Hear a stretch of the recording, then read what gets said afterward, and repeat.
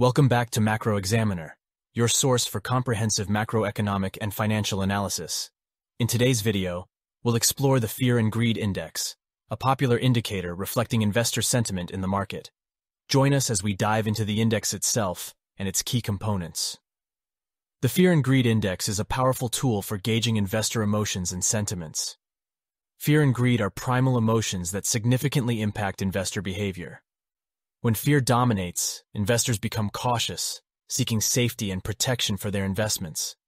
This can lead to selling pressure, driving down stock prices, and increasing market volatility. On the other hand, when greed takes hold, investors become optimistic and willing to take risks, driving up prices and fueling market momentum. By tracking the Fear and Greed Index, we can identify potential turning points in the market, recognize periods of excessive optimism or pessimism, and adjust our strategies accordingly. Before delving into the components of the Fear and Greed Index, let's understand its calculation and historical significance. The index aggregates various indicators to provide a comprehensive view of investor sentiment. It has been a reliable tool over the years, helping investors navigate uncertain market conditions and make informed decisions. The first component is market momentum, currently indicating greed. It measures the speed and intensity of market movements, Greed suggests investors are optimistic and confident, driving the market with upward momentum. Excessive greed, however, can signal potential overvaluation and a higher risk of market corrections. Moving on to stock price strength, we observe a neutral reading. It reflects the overall strength and direction of price movements. A neutral reading suggests a balanced sentiment, with no significant bias towards fear or greed. Investors may be taking a cautious approach in such a market. The third component, Stock price breadth currently reflects fear. It examines the participation and breadth of stocks in the market. Fear indicates a limited number of stocks participating in upward movements, suggesting a lack of widespread investor confidence. This may indicate potential market weakness and caution among investors. The put-call ratio component shows extreme greed in the market. It measures the sentiment of options traders and their hedging strategies. Extreme greed suggests a strong bullish sentiment and an appetite for potential price increases.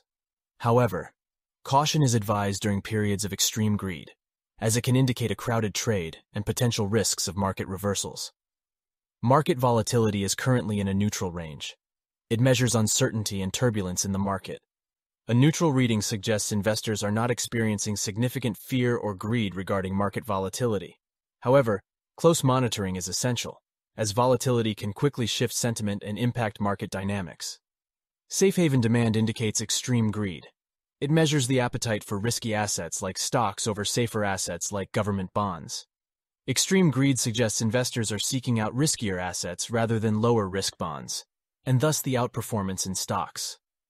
Lastly, junk bond demand shows extreme greed.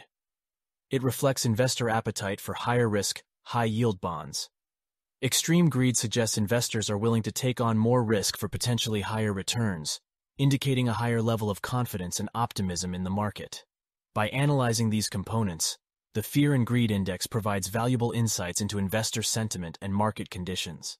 It's important to exercise caution, conduct further analysis, and consider other factors when making investment decisions.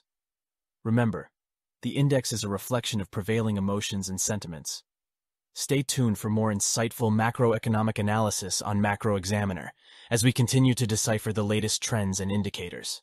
Don't forget to like, share, and subscribe to our channel to stay informed. Thank you for watching.